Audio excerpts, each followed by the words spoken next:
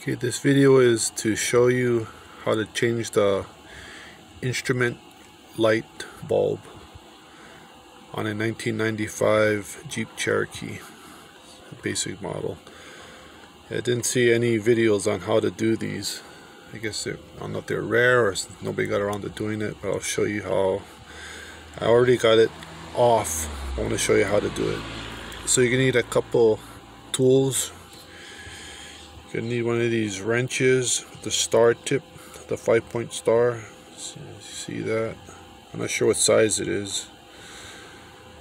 I just happen to have one lying around. And then you're gonna need uh, a regular Phillips screwdriver. Might want to get two different sizes.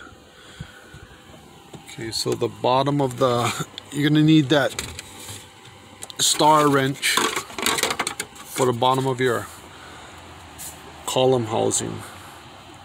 You're gonna need you're gonna have three bolts and or three screws under there.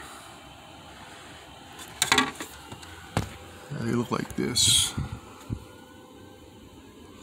So yeah, you're gonna have those three holding that bottom. I don't know why they have they're using these. Totally different from the Phillips.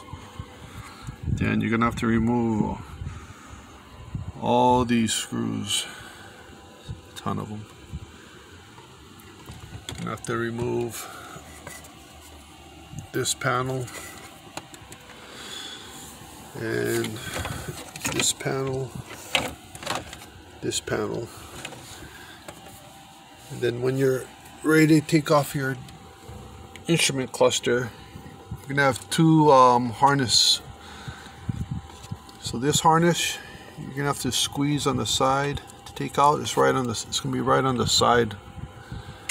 And this one's in the back. You're also gonna have to squeeze these two prongs over here. So one two. And this is how the back of the instrument cluster looks.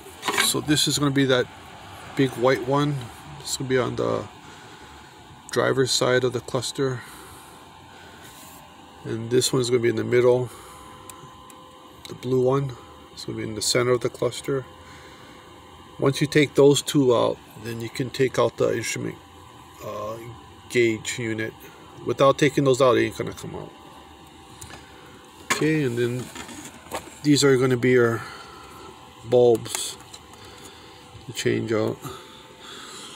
So I guess I'm gonna have to go out and buy some because I tried to look look at what's compatible with this car, but it's all showing these different other years, 97 and up. Okay, so hope this video helps you.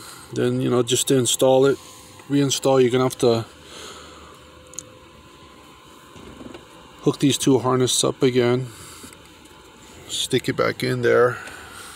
Once you got that unit in, then you can put the other pieces in.